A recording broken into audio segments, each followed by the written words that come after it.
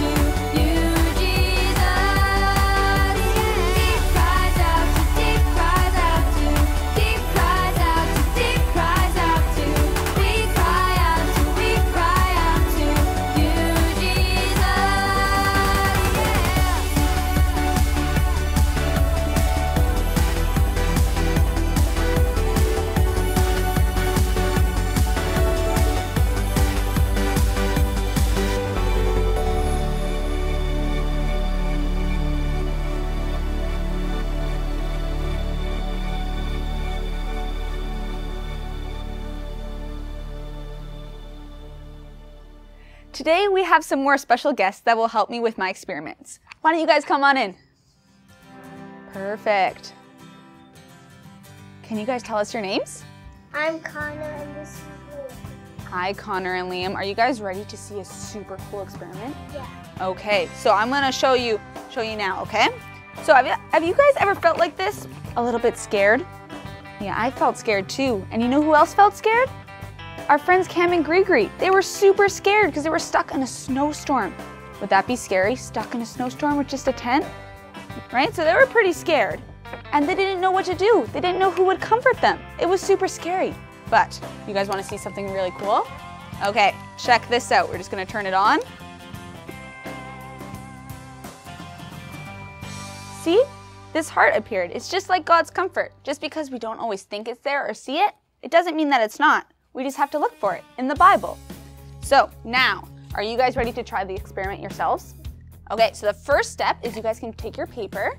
Yep, the paper. You guys can each grab a piece. Good job, Liam. Perfect. Okay, now you guys are gonna draw. Can you guys draw a scared face on your paper? So draw a face that's either super scared or super sad. What about that? Yeah, you can draw a mad face too. Oh, that looks awesome, Connor. That looks good, Liam. Boys, those look great. Why don't you show the camera your pictures? Perfect. That looks awesome. So when we're scared, it sometimes feels like we're all alone, right? But we need to remember that Jesus is always with us. To help us remember that, we're gonna draw an invisible heart around our scared face. So what I need you guys to do is I want you guys to each grab a lemon in your hand. You grab a lemon. Perfect, Liam. Yeah. And then in the bowl, you're gonna squeeze the lemon juice into the bowl.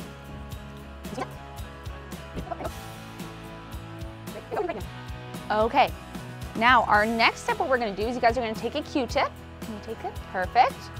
And you're gonna dip it into the lemon juice. Great work.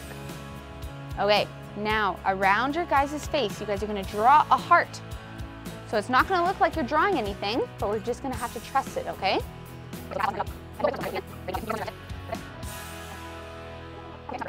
Great work, boys. That looks awesome. So right now we can't really see anything on the paper, but we're gonna do something pretty cool. So we're gonna have your dad come here and help us out with this.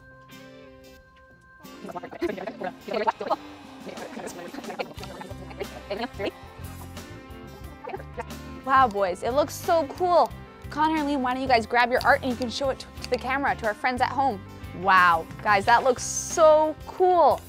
And you know, these hearts can remind us that even when we're scared and we're sad, Jesus is still there. He's always with us and he always loves us. He comforts us, which is super, super cool. And you know, I think after learning this lesson, I'm gonna be much better at helping comfort my friends Cam and Grigri next time they call down from the mountain.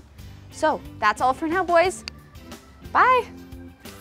Well, I had so much fun here with Connor and Liam uh, doing my hands-on experiments. Come join us next week to see more hands-on experiments here at Altitude. See you later.